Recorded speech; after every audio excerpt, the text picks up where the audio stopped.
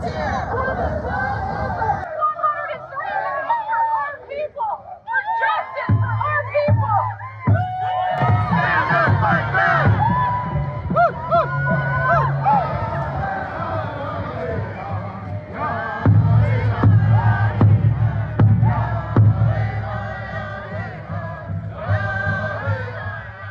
know, it's been a long haul. You know, uh, I stood with Leonard back in the day. You know, George DeBon and, you know, a few firefights, you know, with the U.S. government, but uh, there's not too many Wounded Knee vets. Seven.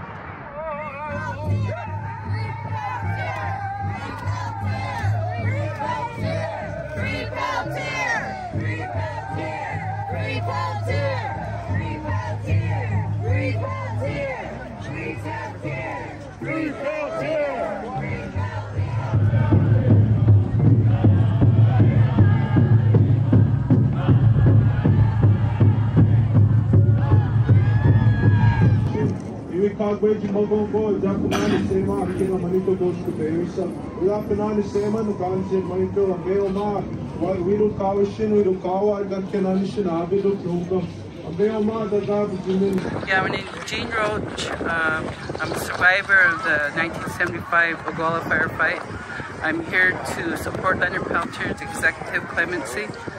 It's been 47 years and we're really tired of genocide. And this is a continuation of genocide which started at first contact. And until they make this right with all their deceit and lies, they need to just tell the truth is all we're asking and just to be treated as a human being. We're just asking for justice, no more than that.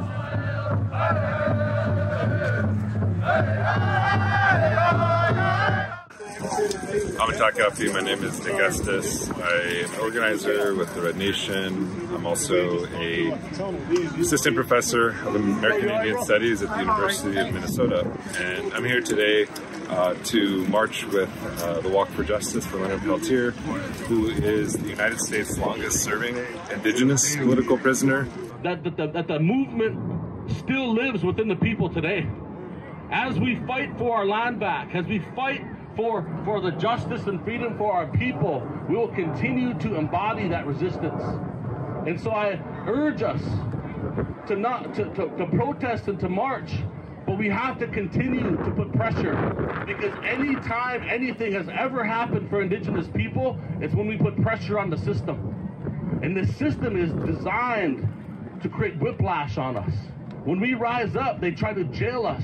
They try to incarcerate us. They try to beat us. They try to separate us from our family.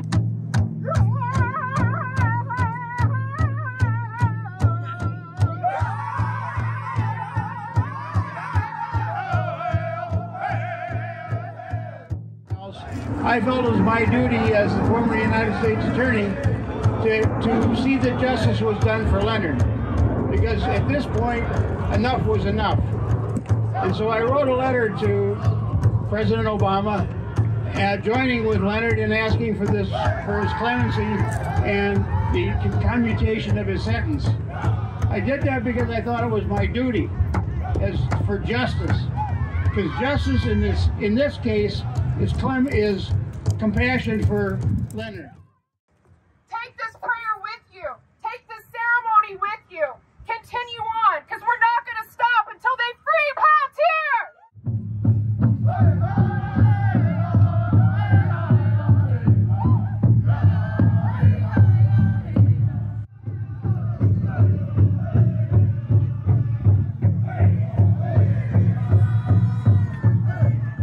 Peltier is an elder. He suffers from an aortic aneurysm, which could kill him at any moment.